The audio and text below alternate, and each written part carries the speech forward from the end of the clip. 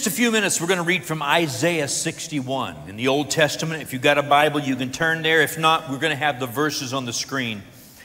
I want to share a message today simply entitled Now and Then. Now and Then. You know, life is a journey, and life has a lot of different experiences on this journey. And it's especially true for those of us who are following Jesus because we have not only natural experiences, but now we have experience with, experiences with God on this journey. But have you ever looked at the circumstances of your life and asked the question, God, why? What's happening? I don't get it. I think we've probably all been there. If you haven't, cheer up, you'll be there here soon. So this message will help you on that journey. But you know, life can be tough, life can be challenging, life can even be confusing at times. And there are moments in life when we hurt. Things don't go well, and for a lot of reasons, we can carry pain over what has happened or what's happening in life. Last Sunday morning, as, as I was talking about healing, I happened to quote a scripture, and boy, something went off inside of me, and it's been burning all week. And so I'm going to use this in my introduction today. When the Apostle Paul wrote about this journey of life, there are two phrases that he used that I think are really important for every believer. First of all, in Romans chapter 1, Paul said, I'm not ashamed of the gospel of Christ because it brought me to salvation. And he said, In this salvation, this life with God, living with God, seeing God involved in my life, he said, God's faithfulness, his rightness is revealed, but he uses this language. He, he says, God is revealed from faith to faith. So it speaks of a journey, and he goes on to say that the just learn to live by faith. And it means on this journey, I live by faith. I encounter a problem or an issue or a circumstance, and I trust God by faith. And God walks me through that and turns it into something good. But then I go to the next situation. How many of you know there's a next situation lying somewhere down the road? No matter what you've come through, there's more to come. But when we walk by faith, from faith to faith, our faith is continually growing as we learn to trust God. And, and then the second thing that Paul gave us to kind of understand this journey, in 2 Corinthians 3, Paul said, when we look into the face of God, it's like looking into a mirror. And we see the greatness of God, and suddenly we realize that God is trying to pour His greatness his character, His nature, His glory, if you will, into our lives. The glory of God simply means who God is, what He is, the weight that He carries. And I often use this illustration. You know, you may be in a room with some very important people, and all of a sudden, somebody real important walks in, or some celebrity walks in. It's like, ooh, because they carry this weight, this weight of their presence, their glory. When they walk in the room, everybody turns and notices. I'm going to tell you something. When God walks in the room, He's the heavyweight champion of the world. He outweighs everybody else. And so, the glory of God, when we look into His glory, we realize He's trying to pour His glory into our lives.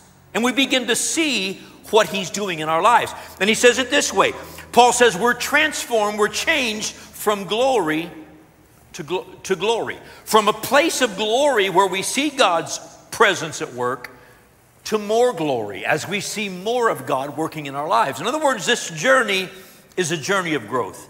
So, these two concepts, faith to faith and glory to glory, they help us understand that as long as we live, God will be working in our lives. Now, before I get to Isaiah 61, I want to use one more illustration to help set up what I want to say today about now and then. As we follow Jesus, as we walk with Jesus, I think we develop three different views of life, spiritual views. There are natural views that see this, but spiritual views as well. And here they are. Number one, we see mugshots of what we used to be. How many remember what you used to be before Jesus got involved in your life? Do you ever look back at the old pictures and you think, oh my God, I can't believe that's who I was? Hide those pictures quick. You know, we see mugshots in the news or on television now and then. You see somebody at their worst. Somebody gets arrested for a DUI or they get in a fight and they're all banged up, and you look and you say, oh man, that's rough. We have mugshots of our past. This is what I used to be before God got involved in my life.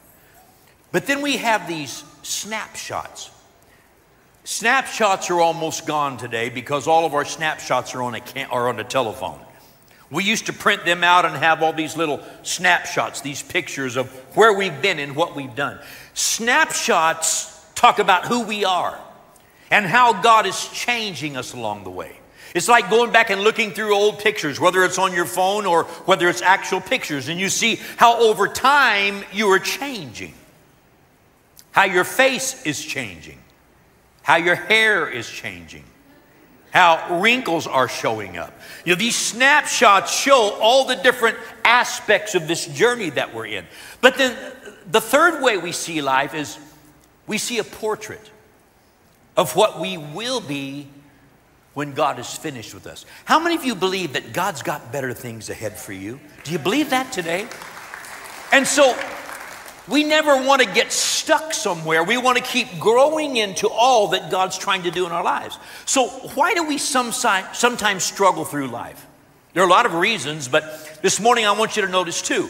Sometimes we become so consumed with the past, what happened back then, that we forget about the importance of navigating life right now. And then sometimes, a second reason, we try to leap into the future. Well, then, someday, then, and we get so busy trying to leap forward, we overlook the importance of navigating life properly right now. You know, then lies on either side of now. There's the then in the past, there's the then in the future. But God wants us to learn to navigate every moment with His faith, with His grace with His glory that He can paint the portrait He's trying to paint in our lives. So, if I'm going to live a godly, healthy life, I've got to learn to release the past to God, live in the now, and let God paint His purpose all over my life because that's what He does. And that's what He's trying to do. So, let's dive into Scripture for a few minutes this morning. Isaiah 61. I love Isaiah 61, it's in the Old Testament. But it's quoted by Jesus in Luke chapter 4 when he was about to begin his ministry. And really, this was the foundation, this was the mission statement for Jesus' ministry. Here's what it says Isaiah 61. Jesus said, The Spirit of the Lord God is upon me because the Lord has anointed me. The Lord has anointed me to preach good tidings to the poor. He sent me to heal the brokenhearted to proclaim liberty to the captives and the opening of the prison to those who are bound, to proclaim the acceptable year of the Lord and the day of vengeance of our God, to comfort all who mourn, to console those who mourn in Zion. Now, notice this. To give them beauty for ashes, the oil of joy for mourning the garment of praise for the spirit of heaviness, that we might be called trees of righteousness, the planting of the Lord, that he may be glorified. Now, I'm going to come back to these verses in just a couple of minutes, but I want to share a couple things. The mission that Jesus received from the Father, when he said, The Spirit of God is upon me, the Spirit of God is upon me for this purpose for these purposes. This is what I am anointed to do. See, when you read the first part of that verse, the Spirit of the Lord is upon me, and the next question is why? Why? Why is God's Spirit upon us? Jesus said, The Spirit of the Lord is upon me because He's called me to do specific things. And get this the mission of Jesus was all about people. People. Jesus was all about meeting people right where they were, changing their lives, and then empowering them to move forward. See, sometimes as Christians in America, we get stuck in this thing of, well, I already prayed that prayer. I already asked Jesus into my heart, so I've already done all that, so I'm just going to wait until someday I go through the pearly gates. We lose sight of what God wants to do and what He's trying to do in our future because we live in the then. God wants us to learn to live with God in the now. And so the, the portrait that God is trying to paint with our lives aligns with and is a continuation of the nature and mission of Jesus. In other words, whatever God has called you to do in life, whatever He pours His Spirit on your life to do, it will be connected directly with the mission of Jesus. We're continuing the work that He started. So, how do I navigate the now? How do I correctly live in the middle of what I'm going on, uh, going through? If I had time this this morning to go to every person in this room, one by one, and walk through every single row, all these seats, and let everybody share what they're going through right now, we would hear hundreds of different stories of what people are dealing with. Some would say, Life is great right now. Some would say, Boy, is it tough right now. There would be all kinds of different stories in this room of what's going on. But the question is regardless of what we're dealing with today, regardless of where you are and what you're facing, how do I navigate this moment? How do I navigate now? In this passage, Isaiah 61, there are three things I want you to notice that God will give us to navigate every season of life. First, says God gives us beauty to replace our ashes. God gives us beauty to replace our ashes. I love the songs that we were singing this morning because they all connect to this message so well. But it talks about the fact that sometimes, and one of the songs talked about the fact that sometimes my mind wrestles with who God says I am and who God says I can be because I remember where I came from. God gives us His beauty to replace our ashes. I'm going to tell you something today. I don't care if you're sitting there and you think, I have made a horrible mess of my life and there are so many hurts and pains. I don't think I'm ever going to get through this. Let me tell you something this is not impossible for God. God's concerned about where you are. You may look around and say, Man, I've burnt everything to the ground. Only thing that's left is ashes. And God says, That's okay. I'm, I'm good with ashes. I'll blow them away and I'll pour my beauty into your life. And, and I, I love this passage of Scripture because Beauty means God's going to bring Himself. Uh, but I, I, love what the psalmist said on several occasions about the Lord's presence. He said, Man, God is beautiful. The presence of the Lord is beautiful. Being in God's house, it's beautiful. It's an experience. Why? Because God is perfect. And God always makes the right decision. God always does the right thing. And what, what he's saying here is, I will step into your life in the middle of all the ashes and all that's gone wrong, and I'll begin to turn things around and I'll blow away the past and I'll change your outlook on life, and you'll begin to see my beauty working in your life.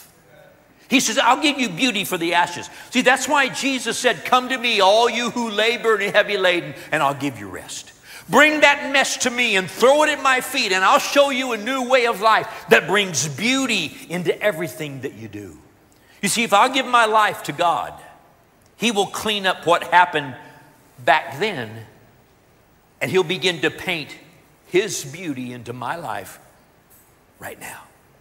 Right now. God's beauty blows away, washes away all the ashes of the past. And He gives us a brand new life in Christ. You know, if, if we compare the snapshot of where we are to the mugshot of where we were, we look beautiful. Come on, think about it. You think about where you were and you compare it to where you are, we look beautiful. That, that's why I got offended earlier that nobody told me I look beautiful today. Turn to somebody and say, You really do look beautiful. And if nobody tells you that, just realize they didn't see you back then. That's why they don't know how beautiful you are. But here's the deal we look beautiful because it's God's doing. And that's what He does. He gives us beauty for ashes. The second thing it says here, he gives us joy to replace our mourning. My heart always hurts when I see somebody following Jesus and they, they always got this sad look on their face like, life is so tough. It's usually because they haven't realized God's given them joy to replace the sadness and the mourning of the past. And the way it's worded here, it says, He gives us the oil of joy. The oil of joy. Anytime you see oil in Scripture, it usually goes back to the oil that they used in the Old Testament when they anointed kings and priests and different ones. And they would take this oil, and it wasn't like super thin oil. It was like a heavy, heavy, heavy oil. It was almost like molasses. And they just poured it out on your head, and it just ran all over you, and it got all over you, and it didn't come off easily. It was just something you carried around, and it just was symbolizing God's presence and his power upon you. And what he's saying here is when I get involved in your life, I will pour my spirit upon you. It will run all over you. And no matter what's going on, you will have joy, and people will see it even when they don't understand it. Because joy, joy is a fruit and it's a product of God's Spirit who lives in us.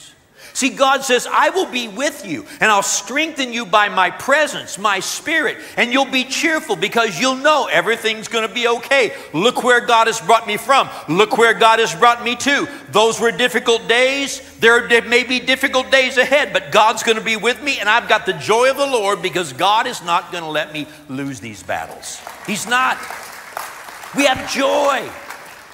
James chapter 1, James says, Count it all joy when you fall into trials.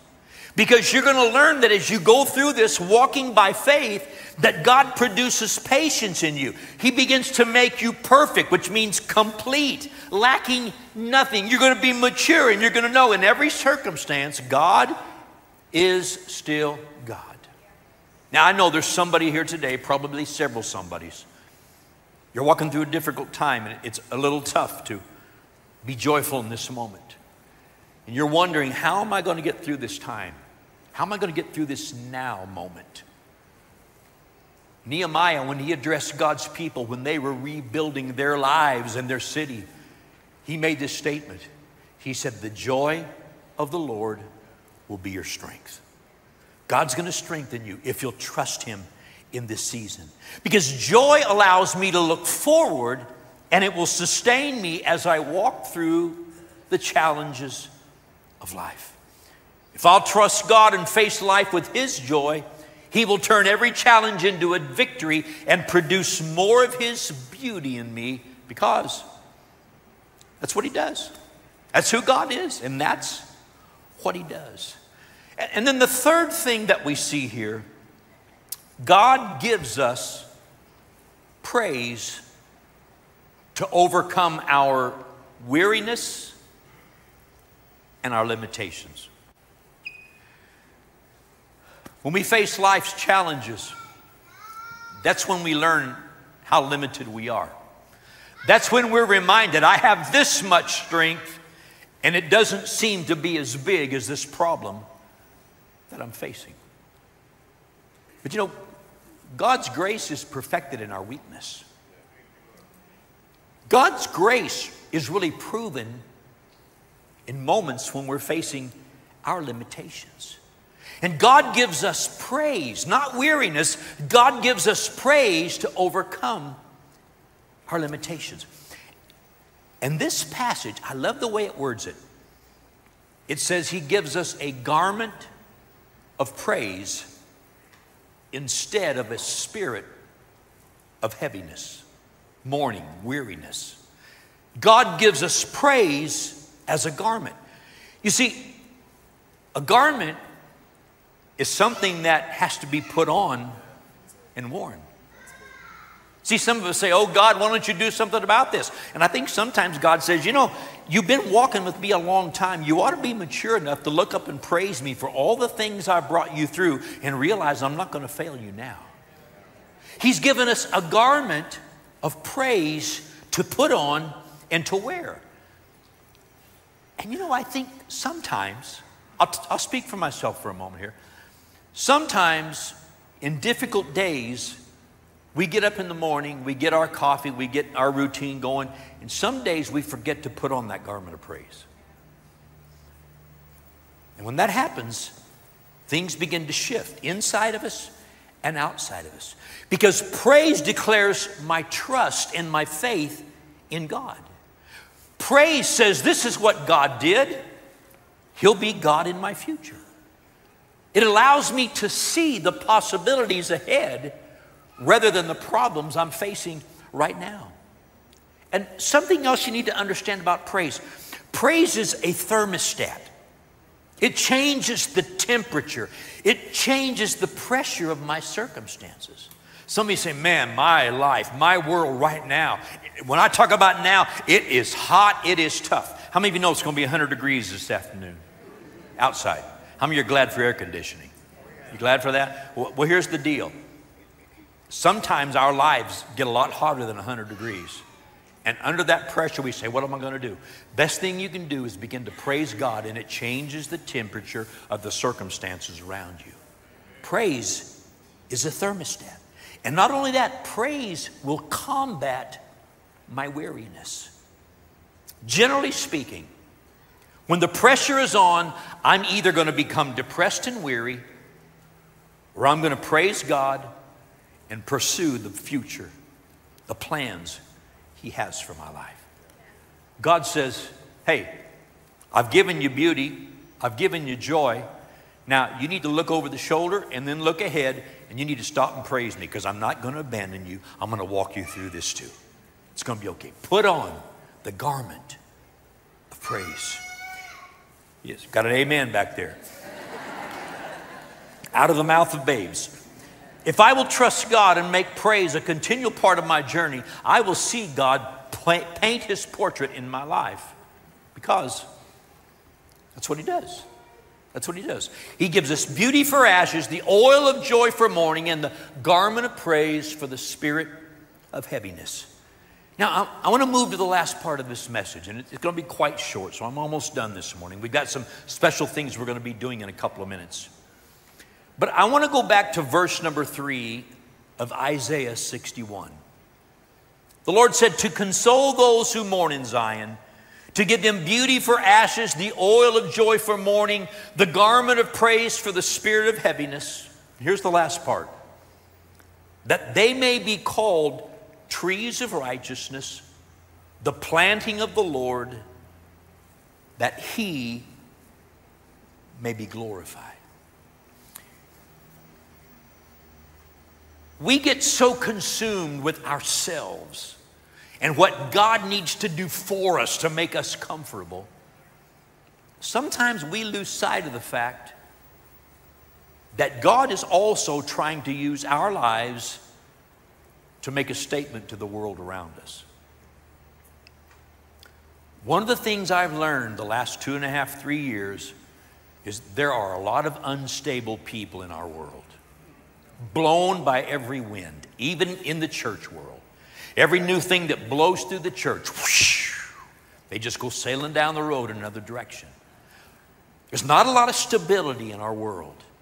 But God says, in the middle of all this, I'm raising up people, and if they will walk with me, I'll make them oak trees of righteousness where they get their roots down into the ground. And no matter what comes in the world, they're not going to be moved away from God and who He is and what He says He is and what He says He'll do. See, a lot of people look at the church world right now and say, well, we've lost our purpose since all this. No, we haven't. We just got started. We just have to understand we've been through a strange season, but we're moving into a season of victory, and we're going to continue to walk with God, and God is going to establish us as oak trees of righteousness. That's what He's doing. You know why He's going to do that? Because that's what He does. That's what He does. And God is trying to use the now moments of my life to paint a portrait that looks like Himself. See, we're trying to say, oh, God, make me look better, make me look better, make me look better. He says, I'm trying to. I'm trying to make you look like me. That, that'll be much better. I'm pouring my beauty into your life, but I'm not finished. I'm still working. So, how's this going to happen?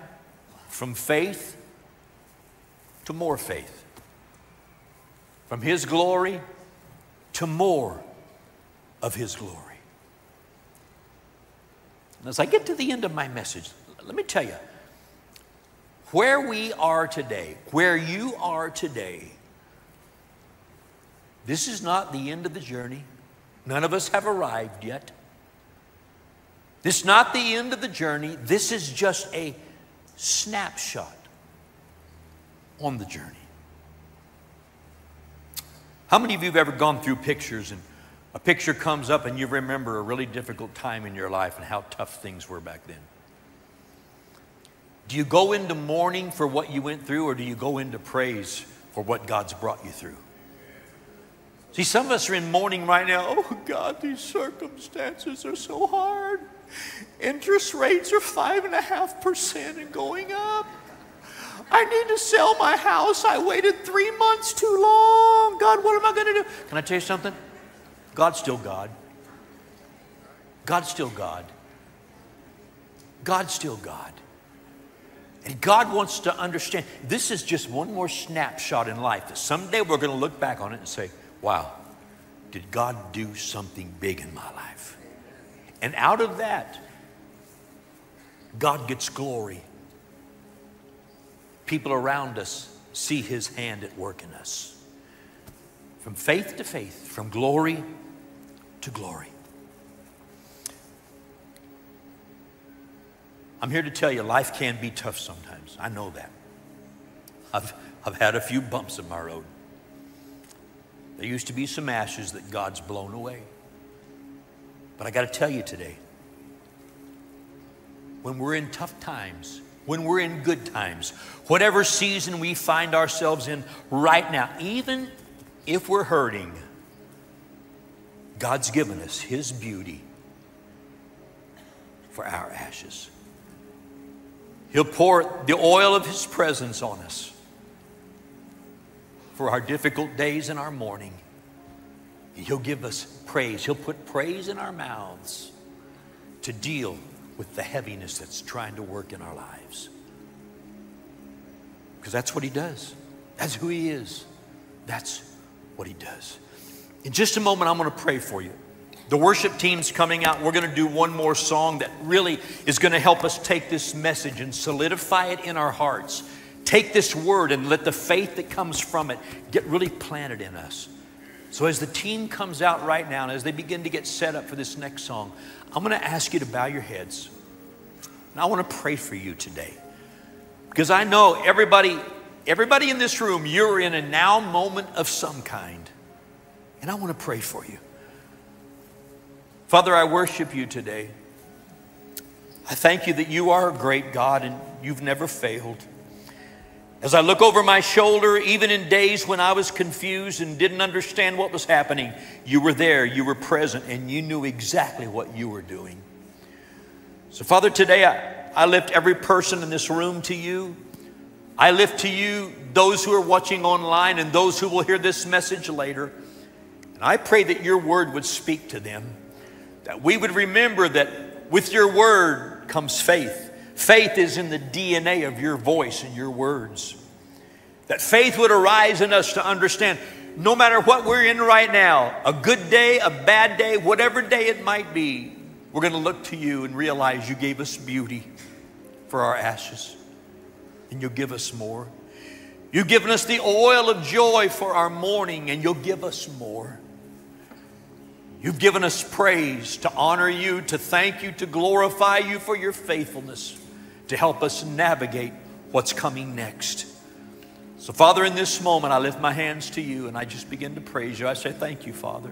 Join me all over this room. Just lift your hands, lift your voice. God, I honor you today. I glorify you. I thank you for your faithfulness in my life. I declare your greatness. I trust you. I believe you. I will not be moved, and I will see your hand work in my life now and in the picture you paint in the future in Jesus' name. I'm going to ask you, if you will, to stand to your feet. We're going to worship God together through one more song. But this is a song to help us seal this moment, what God is saying to us, what He's doing in our lives. Let's worship God together.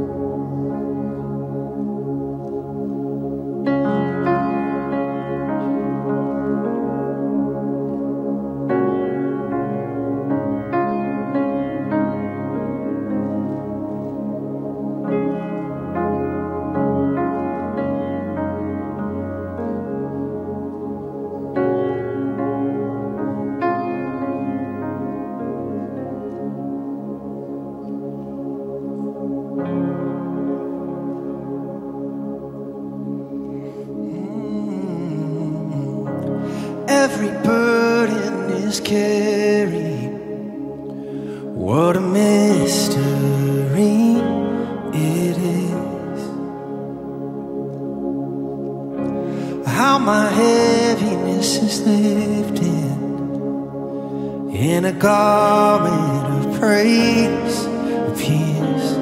Cause you give beauty for ashes. You trade joy for our sadness. For our mourning there's gladness. That's just what you do. That's just what you do.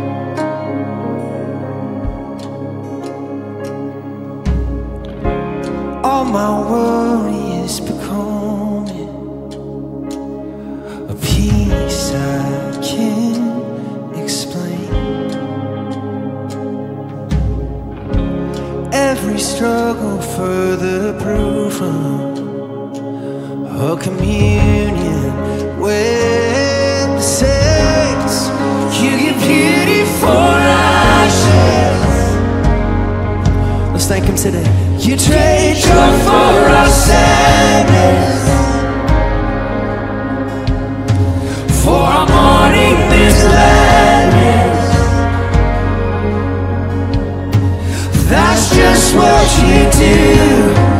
That's just what you do. You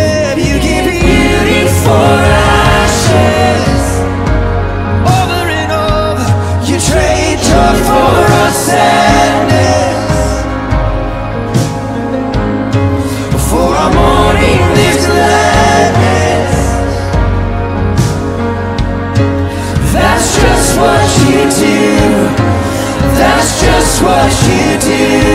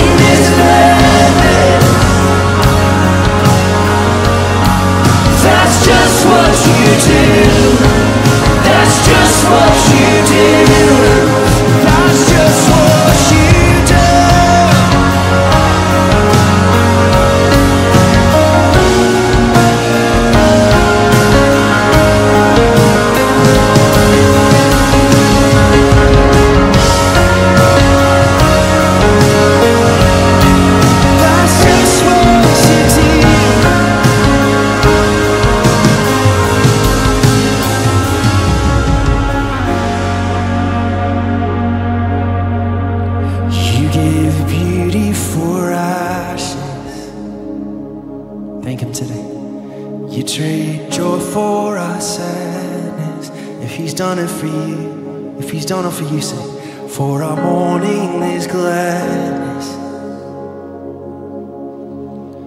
God, that's just what you did. That's, it's just what, it's just what, it's just what you did. It's just what you did. You're my light in the darkness. You're my peace when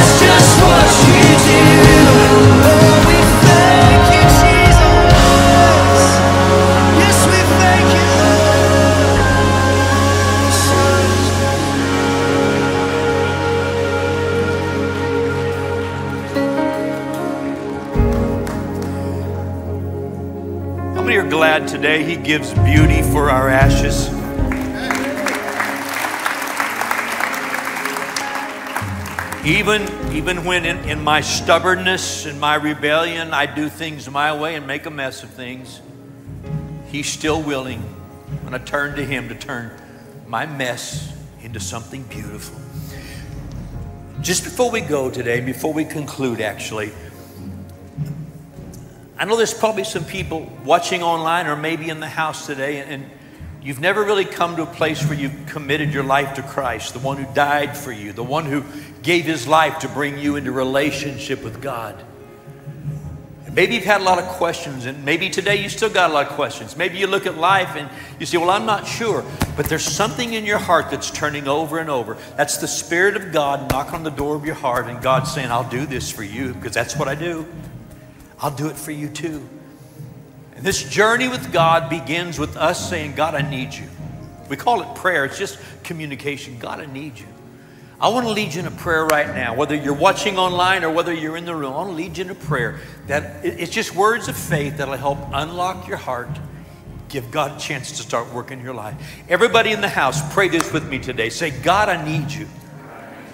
And I open my heart to you. Please come into my life.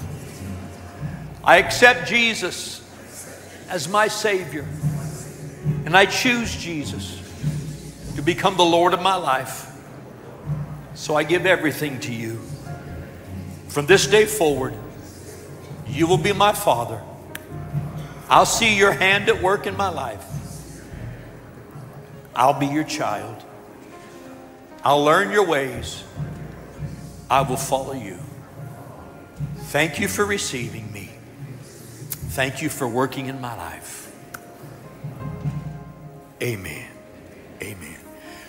Now, here's the deal that's not the end of the journey, that's the beginning of the journey. We want to give you a little gift that'll help you get started on your journey of faith.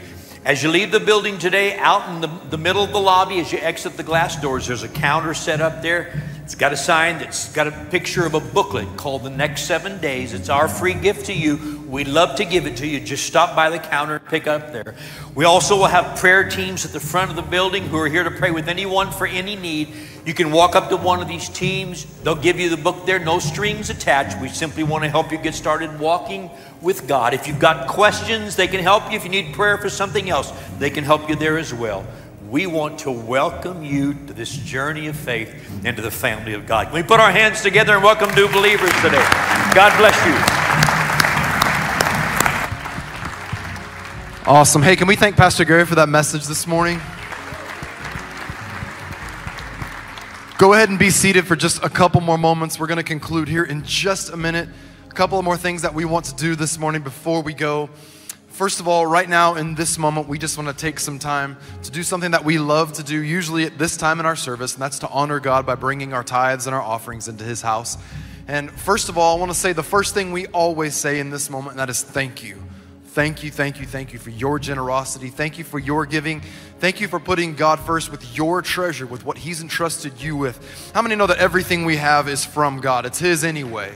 You know, when we bring our tithes, when we bring our offerings into His house, we're simply returning the blessing that He's poured into our lives. We're saying, God, I trust you. I put you first, and I thank you that you're my source and you're my provider. In this message this morning, I was just reminded I have so much to thank God for in my life.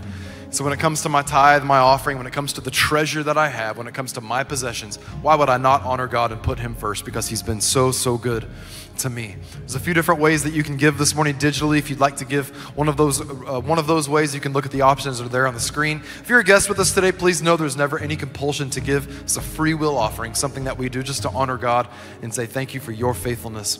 And uh, not only that, but if you'd like to give in person this morning, you can grab one of those envelopes there on your seat backs. You can drop it at one of our giving stations, which is just before you exit the auditorium on either side of the exit doors. There's also a giving station outside near our kids' first time check in area. But do what's most convenient for you. And again, we say thank you so much for your faithfulness in giving. Hey, a couple more things that we want to share with you, just a couple of quick announcements before we go. First of all, if you signed up to serve at our teacher celebration event that's happening this Thursday, we are very excited about this and you might have planned this morning to come to this service and then go to a meeting that we have happening at 1045 right after this service and it's happening through those double doors down the hallway to uh, the, in the chapel which is now called M1 down there on your left. If you want to go down there, we'll be meeting with everybody that signed up to serve this Thursday at teacher celebration.